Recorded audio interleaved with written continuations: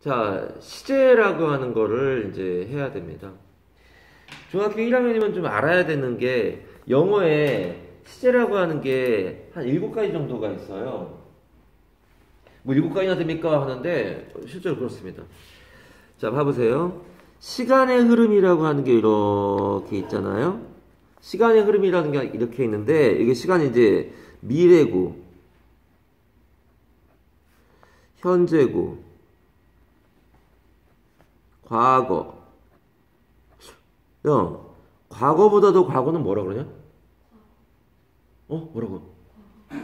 과거 분사가 아니라 과거 완료 그거를 대과거라고 합니다. 여기 시제가 그러면 총 몇 개냐? 네 개네요. 미래보다 더 먼 미래를 얘기하는 일은 없기 때문에 미래, 시점, 현재, 시점, 과거, 시점, 과거, 대과거, 시점 이렇게 시점이라는 게 있어요. 얘는 그야말로 점이에요, 점. 현재에서 미래까지 가는 부분을 뭐라 그러냐면은 미래 완료라고 합니다. 요 미래에 끝날 거야 라고 하는 거.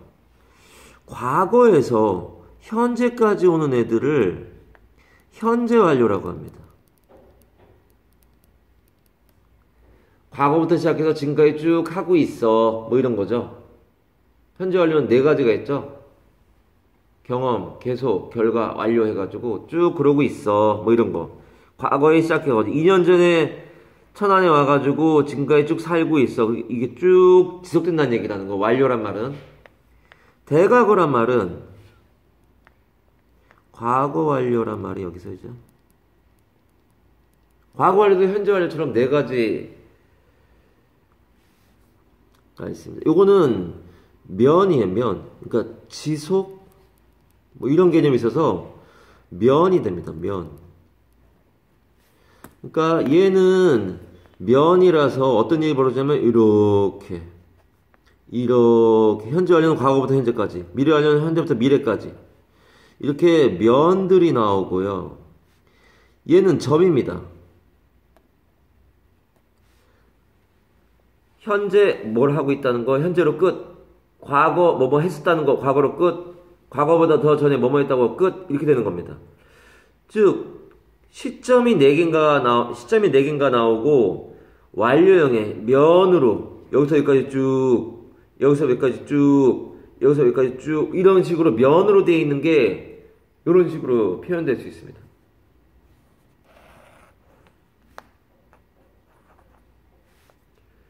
시제의 일곱 가지를 쓰라 그러면 이거 쓰면 됩니다. 이거 그리면 됩니다. 문법책이 안 나와 얘들아. 너희들은 어떻게 생각할지 몰라도 껄핏하면 그런 말 하는데 문법책이 안 나옵니다. 자, 동사의 3인칭 현재 단수형 이렇게 되는데 이제 현재 시를 가는데 아 이거 너무 쉽죠. 너무 쉽죠. 그러니까 특히 5로 끝나게 되면은 ES가 붙는다. 3인칭 단수 현재일 때 3인칭 단수 현재를 뭐라 그래? 세 글자로 3단 현이라고 합니다. 3인칭 단수 현재 외워야죠.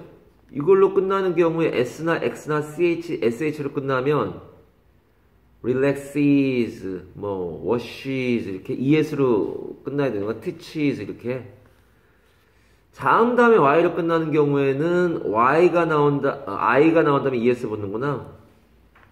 해보자. Y에 땡땡하고 I에 땡땡하고 연결하고 ES가 붙는구나.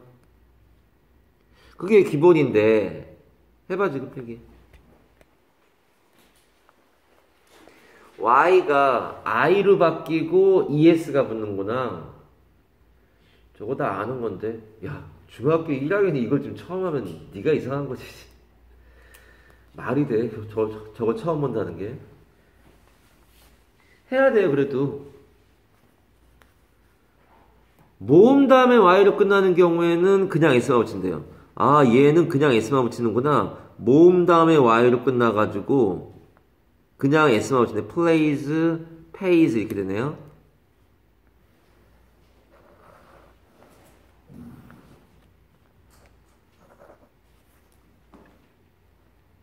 T하고 넘어갑시다.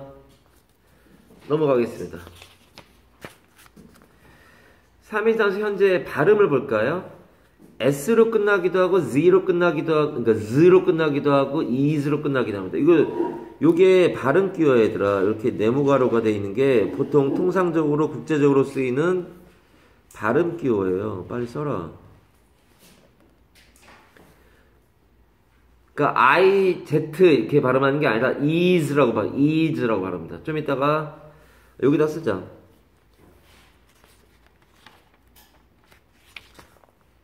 저 과거에 때 나오는 겁니다.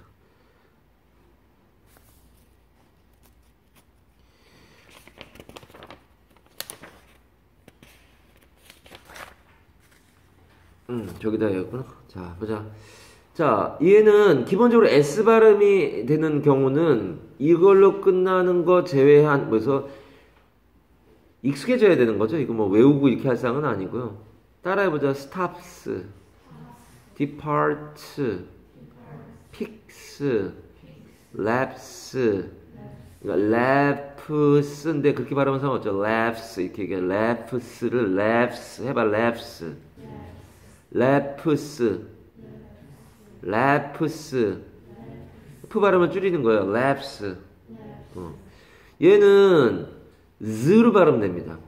raps, digs, drives, breathes 그런 식으로 발음되는 거고요. 얘는 is로 발음되는 거야. is 해보자. passes, raises, pushes, reaches, exchanges 그렇게 is로 발음된다는 거예요.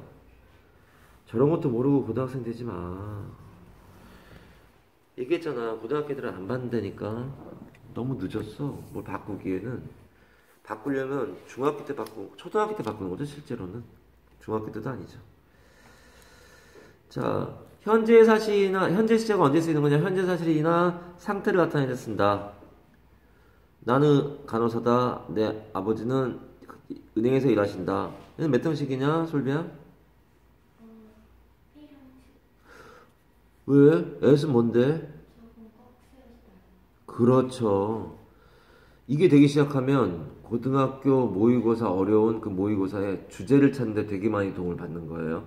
부사에는 주제가 오지 않아요. 수능은 주제를 찾아야 되는데 부사절에는 주제가 오지 않아요. 꺽쇠 치고 날아가는 부사구, 부사절 이런 거는 주제가 오지 않아요. 굉장히 큰 거를 해결하고 있는 거죠. 1년 뒤에 애들이 어떻게 됐을 것 같아? 특히 너 빠지고 남아있는 애들이 1년 뒤에 어떻게 돼 있을 것 같아? 너가 고등학교 2학년쯤 되면은 내 얼굴이 떠오를 때가 올 거야. 그전에는 정신 못 차려. 현재의 습관이나 반복적인 동작을 나타낼 때, 뭐 이런 게 있네요. I lunch at 1 o'clock every day. 이렇게 됐네요. 매일 1시에 점심을 먹는다. 몇 등식이야, 우재야? 어디다 밑줄 쳐야 돼? 이트에다 밑, 동사가 얘 아니야. 몇 등식이야, 한준아?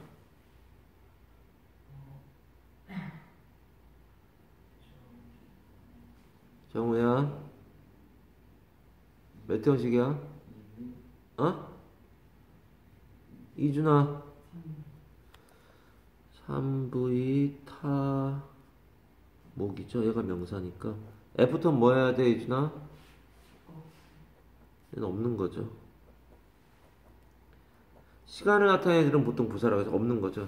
나는 좌안을 싫어한다죠. 나는 점심을 먹는다죠. 너 1, 2, 3, 4, 5시간 되면 고등학교 가가지고 되게 힘들어. 무슨 설명하지 이해를 못해 너. 나중에 고통을 얘기해도 이해를 못해. John reads books before he goes to bed 이렇게 됐네요. before부터 음포서 뭐니 선진아? 얘는 부사절이에요. 얘는 주제가 주제가 되지 않아요. 얘는 얘는 주제가 아니에요. 하고 싶은 말은 얘야 얘. 얘가 주제야.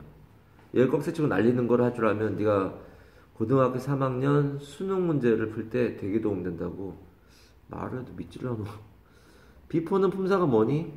절과 절을 연결하는 오, 너 접속사 안에 이쁘다. 아, 사람이 하는 짓이 이뻐야지. 접속사예요. 절과 절을 연결하는 게 접속사 아니면 관계사거나 접속사예요. 뒤에 완전문 옵니다. 완전문, 불완전문은 고등학교 문법 문제에서 가장 많이 나오는 세 개 중에 하나입니다. 나중에 후회하지 마. 야, 비포절에서는, 비포절은 몇 형식이냐, 이거는? 정우야? He goes to bed 몇 형식이야? 일부야, 일부에. 왜요? 투베드는 꺽쇠 치고 날아갈 거 아니야. 전명구라. 1형식이에요. 그는 간다. 끝. 침대. 이렇게 되는 거죠. 얘는 몇 형식인 거야? 정우야? 3부의 타죠. 왜 안 쓰고 있냐, 얘들아. 쓰면서 해라. 왜 이렇게 멍 때리고 있냐. 쓰면서 해라.